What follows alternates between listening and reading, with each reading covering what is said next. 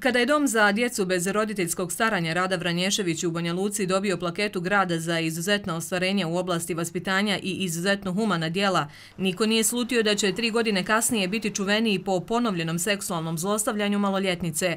Koliko imamo sličnih primjera, niko pouzdano ne zna. Institucije se aktivno bave problemom tek kada stigne do javnosti, kaže Brankice Smiljanić, dobitnica UNICEF-ove nagrade za medijski doprinos promociji i zaštiti prava djeteta. Odgovornosti amnestirani novinare. Mediji nekad i kad poguraju te priče, da tako kažem, u javnost, eh, imam osjećaj da to traje možda samo dva, tri dana, i onda nekako kao da utihne, kao da e, nema to kontinuiteta. Kada je direktor Doma Rada Vranješević Vladimir Kajkut podnio ostavku uz obrazloženje da mu je žao, to je bila dobra moralna poruka, ali i povlačenje pred problemom koji ostaje.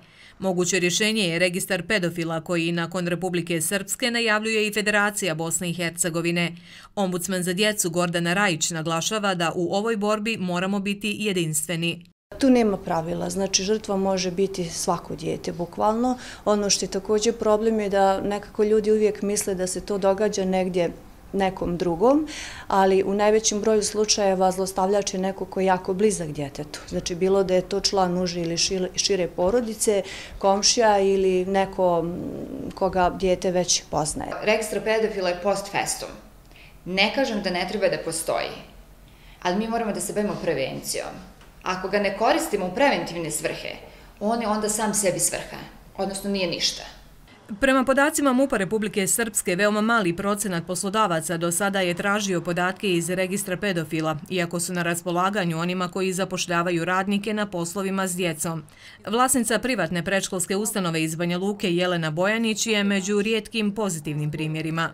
Ono što bih rekla što je po mom mišljenju važno, da možda bismo trebali i naselja gdje se privatne prečkolske ustanove nalaze isto provjeriti, s obzirom da su djeca konstantno, posebno kod mene, e, provode vrijeme vani. Kada se radi o djeci s poteškoćima odnosno mladima s poteškoćama u razvoju, um, um, mnogo teže je otkriti da se nešto desilo nego kada je u pitanju, da kažem, tipični adolescent ili tipično, um, tipično mlado dijete. No problem se ne rješava preko noći jer tako i ne nastaje. Naučna javnost upozorava na potrebu informisanja roditelja o opasnostima koje nosi eksponiranje djece na društvenim mrežama.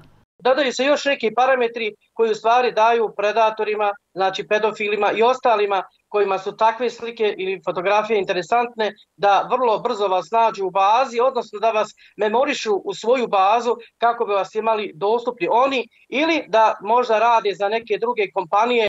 Mnogo je karika u lancu borbe protiv pedofilije, roditelji, socijalni radnici, učitelji, policija, tužioci, novinari. Ako samo jedno dijete, poput štićenice doma Rada Vranješević, ne dobije adekvatnu zaštitu od seksualnog zlostavljanja, svi smo odgovorni.